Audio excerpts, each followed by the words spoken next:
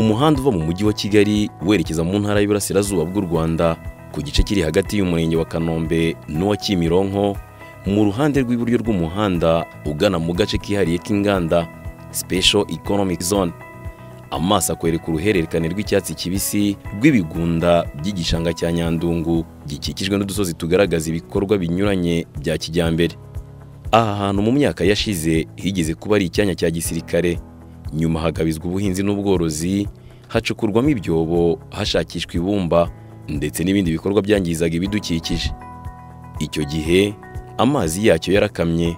Ahari igishanga haba ku gasi hasigara ari mu binogo. Ikigo cy'igihugu gishinzwe kubungabunga ibidukikije rema cyaje kugerageza kuhasana. Inahagarika ibikorwa byahakorerwaga bitubahirizaga amategeko y'ibidukikije. Hongera gusubirana ariko hakomeza kwisukamo amazi y'imyanda. Aturuka ku misozi ikikije icyo gishanga. Rimwe na rimwe hakaba imyuzure itewe n'imvura ndetse haba n'indiri y'abahungabanyaga umutekano w'abaturage bahaturiye.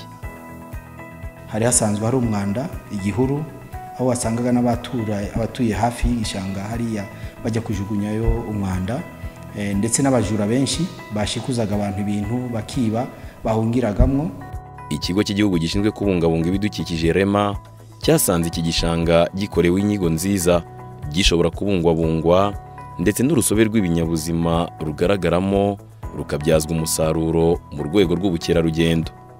Nguko uko rema ifatanyije n'ikigega cy'igihugu cy'ibidukikije n'imihindagurikire y'ibihefonerwa batekereje umushinga nyandungu urban wetland ecotourism park.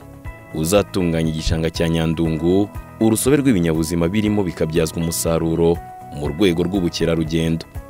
Umushinga twawutekereje nyuma y'igihe kirekire kiriya gishanga gihari twatangiye kugiprotekitinga dushyiraho amabwiriza ko nta bazajya bagikoreramo tukajya dushyiraho n'abakirinda.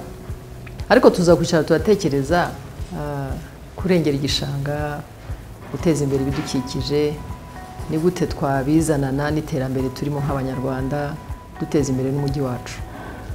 Kubera rero ibintu bya ecological park ntabwo ari icya mbere mu isi hari n'ahandi bikora. Twumva rero ari opotunite nziza dutangire n'iki gishanga tubona kiri mu mujyi kandi byakoroha kukideveropa tunakirengera tukibungabunga. Urebye n'ibikorwa bizajyamo harimo ibikorwa byinshi bizafasha ya myuzure yazaga y'amazi yamanukaga ava ruguru mu baturanyi cyangwa mu bikorwa bindi bihaturiye. Akaba yasukurwa ndetse akaba yagabanywa na wa muvuduko wayo. Kuko harimo komponenti z'umushinga zizagenda ziyayobora neza ahakwiriye kujya.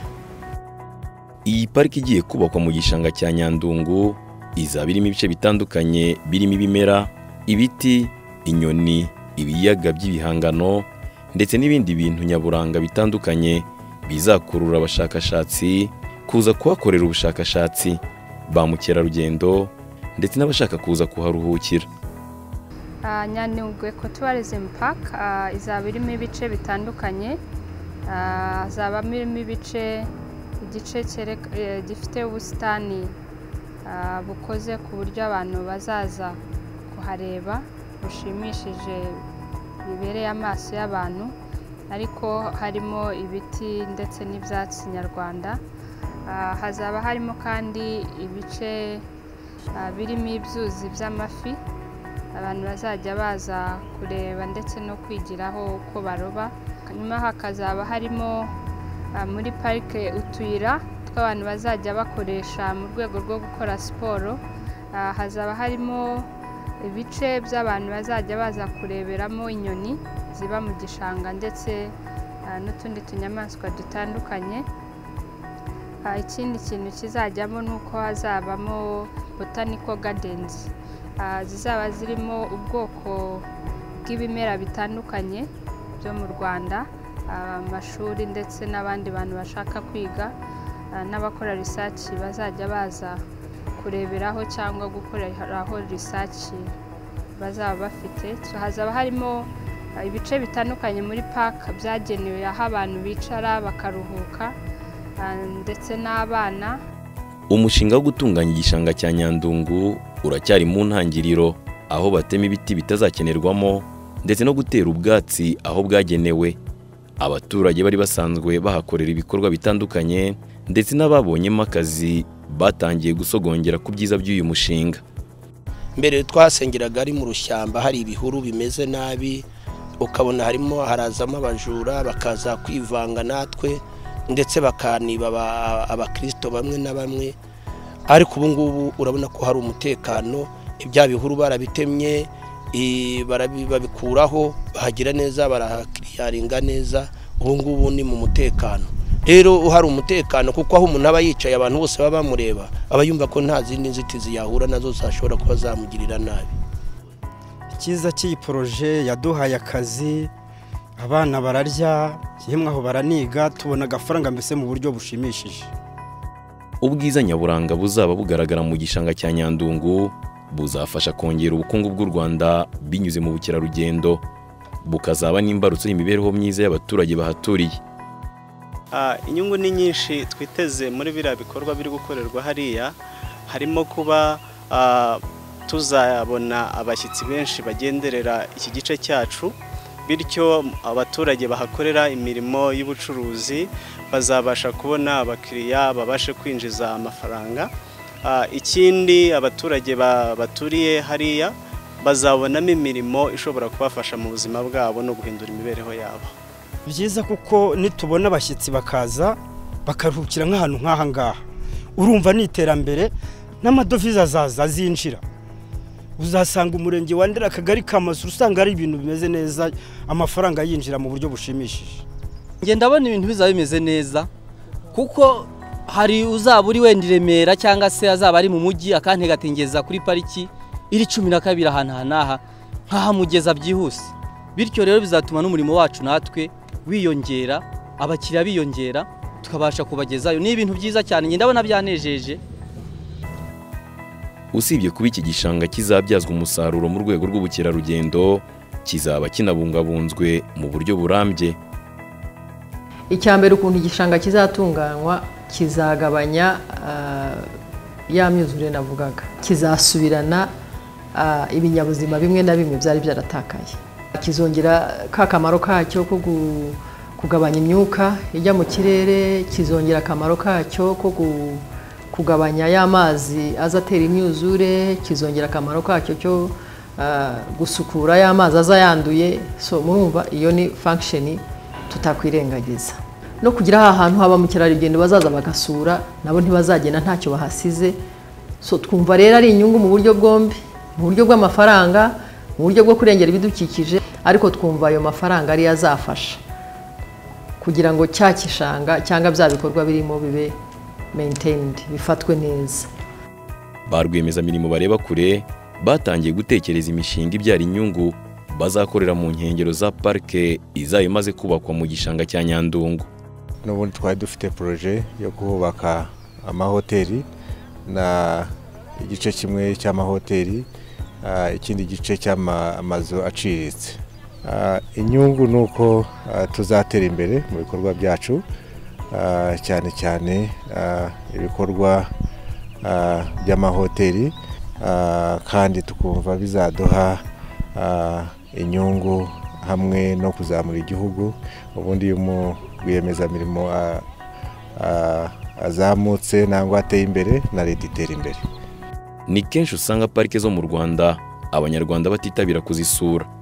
Abaturiye ahazubakwa parike ya nyandungu bo biteguye kuzasura ibyiza bazaba begerejwe ariko nanone bakoroherezwa kubigeraho.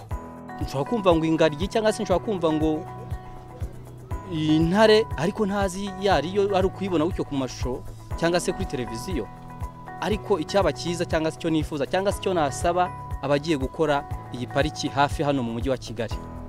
Ndifuza cyangwa se ndasaba cyangwa se mvugira n'abanyarwanda bose ko bayishyira ku giciro kiri hasi cyane kugira ngo twese tubashe kwibonamo ni cyo nabisabiraga. Zaba nk'ubucuruzi ariko ubucuruzi budahenze kugira ngo budakumira ba bandi badafite ubushobozi. Mu by'ukuri ni fi zaba ari ntoya. Gutunganya igishanga cya nyandungu bizaba icyitegererezo ku bindi bishanga biherereye mu mijyi dore ko ibishanga byo mu mijyi akenshi biba byanduye. Kubihingamo rero bikaba bigira ingaruka mbi ku bihingwa. Ibishanga byinshi byo mu mujyi ugiye kureba kubera uko dutuye kubera inganda zihazengurutse kubera ibikorwa bya muntu bindi bitandukanye n'ukuntu tujera imyanda yacu ibyinshi birananduye burya. Guhinga rero ubutaka buriya bwanduye. Bufitemo ah, imyanda imwe n'imwe cyane cyane izi za chemicals ibifite ibinyabutabire bi- bibi hari ukuntu burya bijya no mu bihingwa. Twabisarura twabirya ayo makaroti izo nyanya n'ibindi ugasanga turimo turarya imyanda itwanduza. So twumva rero inama twajya ni uko mu by'ukuri ibishangwa byo mu mujyi bidakwiriye guhingwa. Ahubwo byakorwa nk'ibyo twavugaga ubusitani ah, ibintu nk'ibyo bijyanye no kurengera ibidukikije ariko bigaruza na za mfakisheni cyangwa ya, bya mikoreshereze y'ibishanga kugira ngo ikoreze ka kamaro kabyo nk'uko bisanzwe. Noneho wenda tugahinga mu bindi biri hanze y'umujyi byemerewemo guhinga. Ntabwo dushidikanya cyane cyane ko ari umushinga wa mbere mu rwanda kugira ecological park ah, iri ahantu nk'aha ngaha mu mujyi. Kizaba nk'icyitegererezo ku buryo n'ikiba successful tuzaboneraho no kuba twagishyira n'ahandi twumva bishoboka mu bindi bishanga. Umujyi wa kigali usanzwe uzwiho kugira isuku ariko ukabura aho abantu bidagadurira. Pariki izubakwa mu gishanga cya nyandungu izaba ari igisubizo. Dore ko ari na yo parike ya mbere izaba yubatswe mu mujyi wa kigali. Turabona yuko mu myaka ine ho hazaba hasa neza cyane ndetse nakongeraho yuko eh, bizongera n'ubukerarugendo kuko n'abantu iyo baje baje gusura umujyi ahantu nk'hariya barahishimira cyane. Barahakunda kuko murabizi iyo uje ubwa mbere ahantu ahantu ushobora kuruhukira ushobora kwisanzura ushobora kuhirirwa ushobora kuhakorera n'akandi kazi. Ndetse ahantu nk'hariya n'umuntu aragenda agatekereza aga- akaba yakora n'ibyo adashobora gukorera ahandi. Turabona rero ko mu myaka iri imbere umujyi wa kigali uzaba usa neza cyane cyane cyane ko bizagenda binahuzwa n'ibindi bikorwa remezo turimo turubaka. Ibi byose rero biragaragara yuko umujyi wacu urimo uratera imbere kandi ugenda usubiza ibibazo abatuye umujyi wa kigali bafite ibyifuzo bashaka cyane cyane byo kugira ahantu ubwisanzure ubwisanzure ahantu ho kuruhukira ubusitani bwiza aho bazaba bidagadura eh, n'umuryango ndetse bazaba bahumeka umwuka mwiza. Kugira ngo uyu mushinga ugere ku ntego zawo harasabwa ubufatanye bw'inzego zitandukanye. Mu by'ukuri ibyo dusaba abafatanyabikorwa cyane cyane inzego za leta dukorana hafi ni ukugira ngo twese bya bikorwa twiyemeje gukora tubikore. Ntabwo iyo ari umushinga warema wonyine harimo izindi nzego harimo umujyi wa kigali harimo rdb harimo water resources bariya bose turafatanyije. Akarere. Kaba gashinzwe kurinda hariya hantu. Cyangwa abaturage bahaturiye kubasobanurira umunsi ku wundi mu mugana n'ahandi ko hariya hantu nubwo hagiye gutunganywa ariko dukeneye ijisho ryabo. Kugira ngo ntibazare abantu binjiramo kwangiriza kandi ibikorwa mu by'ukuri nabo ni ibyabo. Iyo utuye ahantu uturanye n'umuntu mwiza cyangwa uturanye n'ahantu heza nawe biguhesha ishema. Turabategereje mu myaka ine iri imbere.